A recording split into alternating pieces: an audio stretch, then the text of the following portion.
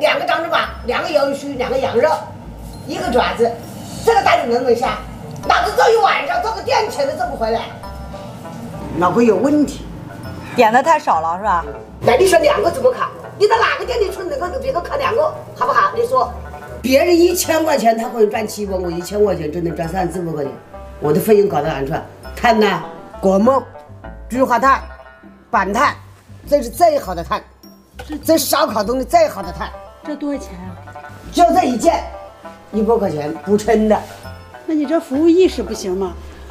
我不是卖服务，我是卖我是卖我的口碑，卖我的名气，卖我的味道。我不是卖服务的，夜总会的服务好，他们的夜总会去。像过年那几天，一晚上能卖五万把块钱？卖的基本上一万五、一万六都有。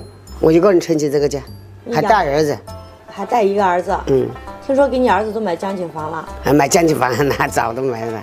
你这地上一尘不染啊！我每天撒洗洁剂在地下拖啊，你不是有这么干净吗？有这么干净吗？有这么干净吗？人根本没有睡午觉，基本上把卫生做完就三点多钟了。我敢吹牛，不管是哪家餐饮能够赶到我货人家，我不叫货人家，这个店就是老板的脸。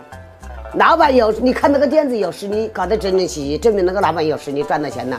那个店乱七八糟，桌子都是东一个稀个无利用的东西，就是打你妈逼享受欢呼打那，证明那个老板没有赚到钱，他没有实力。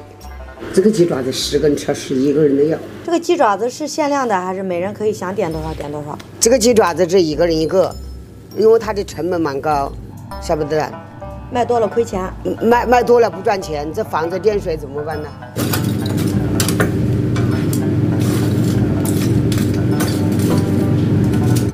餐饮就食材是最重要，每天早上出个鲜食材呀，我就骑了个自行车出个鲜呐。葱也是十几块钱一斤呢。那你那个烤饼上面撒那么多？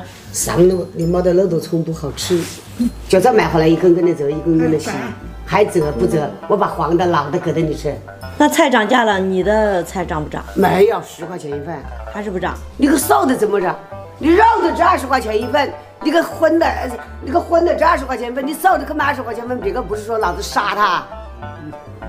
这个现在还有人脑壳有包的还嫌贵，贵也不吃。没有钱的人吃馍馍都嫌贵，有钱的人吃鲍鱼就嫌便宜。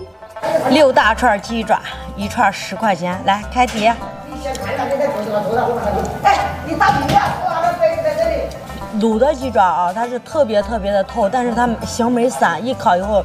稍微一过火，一撒调料出来了，特别软糯，入口即化。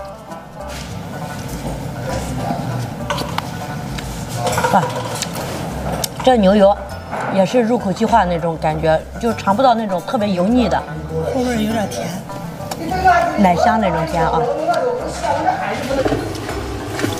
那肥肠里边加了蒜菜。